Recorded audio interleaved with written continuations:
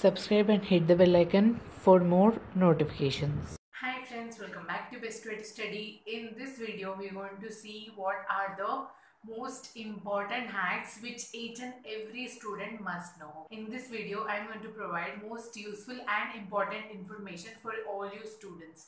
So make sure you watch this video till the end and also don't forget to subscribe to my channel and hit the bell icon so that you will never miss a video from Best Way to Study. Target for this video is 1 lakh likes. So let us all together make this video reach 1 lakh likes okay?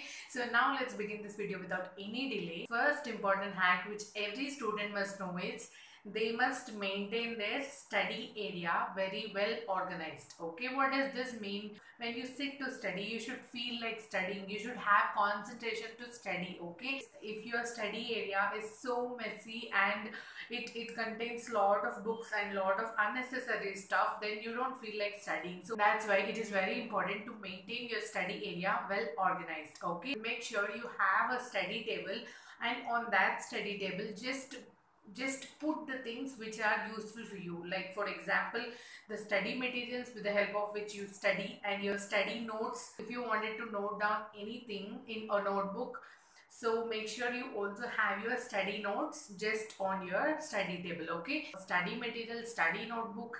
And third important thing is you should also have your stationery on your study table. Stationery in the sense pen pencil whatever you require while studying all these things make sure it is nearby on your study table okay? Rest all things which are not useful at the time of your study just make sure they are not seen on your study table at least while studying. So this helps not only to maintain your study area organized but also improves your concentration because whatever you want whatever you need in order to study you have all in your reach. So there's no chance for distraction. So make sure you maintain your study area well organized. So next important tip is most of the students will be really panicking just before few months of examination. Okay. Oh my god, my exam is going to start within two months. I didn't prepare anything. Oh my god, my exam is going to start in one month. I didn't prepare anything. So we see most of the students panicking so much just before their exam, just before few months of their exam. Okay. Here is the hack for you students who are really tensed for your exam. So let's think after two months you have an exam but you haven't prepared anything for that. Now what you need to do is so first one month make sure you complete at least 60 to 70 percent of your syllabus okay you need not study everything but at least make sure you know all the important question and answers which will really help you to crack good marks in your examinations okay? In first half of the duration which is one month in one month make sure you complete at least 70 percent of your portion okay? So now in the second half what you need to do is that is in the second month what you need to do is you need to concentrate on rest 30% of the syllabus for the first half of the second month. Okay so for first 15 days of the second month concentrate on remaining 30% of your syllabus. Okay so for final half of the second month what you need to do is you just need to revise what all you read for this entire one and a half month. Okay it really helps you in order to memorize the things which you have already studied so that you can get a really good score in your exams okay? So again i'm repeating this point.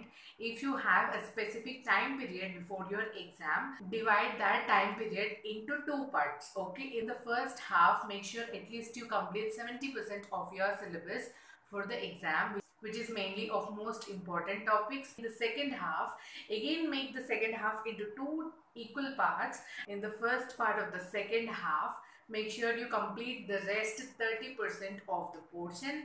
And in the last few days before your exam make sure you complete revision of entire things which you have learned for so far okay? So next important hack is reward yourself okay? So when you don't feel like studying when you're not feeling interested in order to study a particular topic or particular subject then what you need to do is tell your mind tell yourself give some reward to yourself. Make sure you convince yourself to reward something if you complete that particular portion okay? Let's think you're not feeling to study a particular answer okay? But you know that answer is very important and it's surely going to come in the exam. And you're not feeling concentrated. Tell yourself if you complete that answer if you study that particular answer with much concentration reward yourself. Tell yourself that, okay, if I study this particular answer, I'm going to watch my favorite movie or I'm going to buy myself uh, my favorite chocolate so like this you need to hack your mind and you need to put it in under your control so that your mind will be happy because it is getting a reward and you will be happy because you learned the answer okay? So so next hack is try to study using pomodoro technique. What is pomodoro technique? Pomodoro technique means you need to study 25 minutes. After studying 25 minutes continuously take 5 minutes break. After short break of 5 minutes again sit to study for 25 minutes after 25 minutes of your study take another 5 minutes break okay? So like this you need to continue studying for four cycles. So these are cycles okay? In the first cycle you are studying for 25 minutes taking 5 minutes break. Again in the second cycle you are studying for 25 minutes and taking 5 minutes break. Like this after four cycles you can take a 30 minute of long break. Using this technique it is scientifically proven that the students feel more concentrated and they can can study really well using this particular Pomodoro technique. So make sure you also use that because it, it really works. It is scientifically proven that it really works well. The next hack is study less time but study with concentration. We'll hear from many students telling I'm studying for entire day but still I didn't get good score. I'm studying for these many hours but still I'm getting the same marks okay all these things will be listening from many students okay? So this technique is particularly for those kind of students. Even though if you're studying one hour it's totally fine. But the thing is as long as you study you need to study with high concentration okay? You need to put your complete interest on the things which you are studying so next important technique is study at the same time. What does this mean? If you are studying from 3 to 4 in the evening, make sure you study in the same time every day. Okay, so if you start studying at the same time every day, your brain also will be habituated to sit down at that particular day and it can study with the concentration okay so make sure you stick to your schedule and you study at the same time every day next important thing is no distractions. Most of the students will be putting their mobile phone just beside them and um, they'll study for 5 minutes and they'll check the notifications. Did they get any new message? Did they get any new post? No. Instead of that, just before you start studying, turn off your notifications, turn off all your notifications, put your mobile phone silent at least for the time you study okay? So that there'll be no distractions and you can study with complete concentration. Now i'm going to answer you for your common question which is a million dollar question. Most of the students will be having a common question. What to study when to study how to study? First question is when to study okay the perfect time to study anything is early hours okay? Early in the morning okay? Then our mind will be really fresh.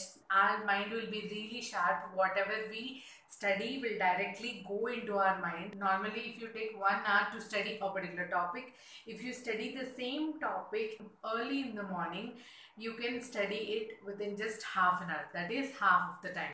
It really works and it is a scientifically proven fact so now i've answered when to study. Now let's see how to study. How to study in the sense before you start studying prioritize the things. Okay first start studying the important topics which will which you are sure that they're going to come into the exam. Okay so uh, while lectures while classes your teacher or your lecturer might be told that this particular question is really important this particular chapter is really important. So make sure you first prioritize the things as important and start studying them. Gradually you can go to the other answers and study them which are not so important okay?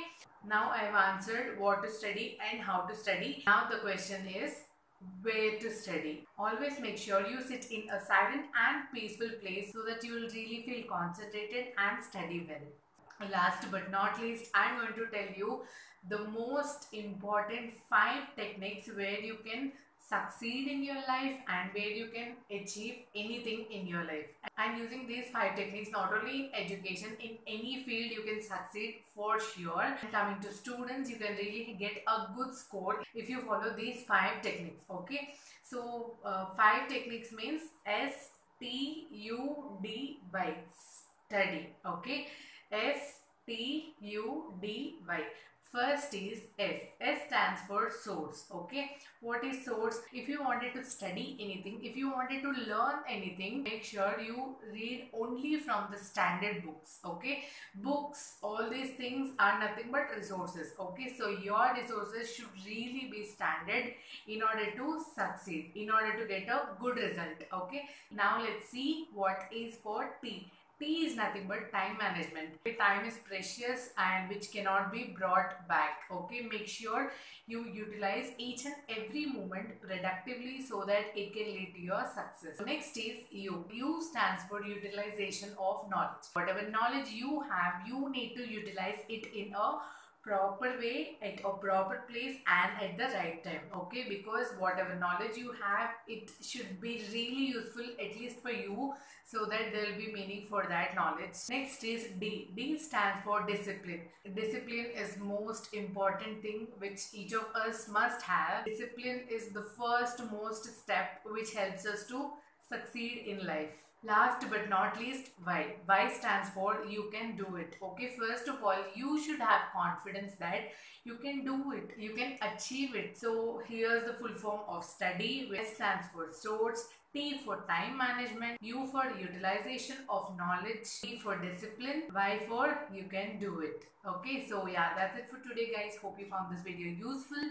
Don't forget to subscribe to my channel and hit the bell icon so that you will never miss a video from Best Way to Study. And also don't forget to like and share this video with all your friends. So yeah, that's it for today.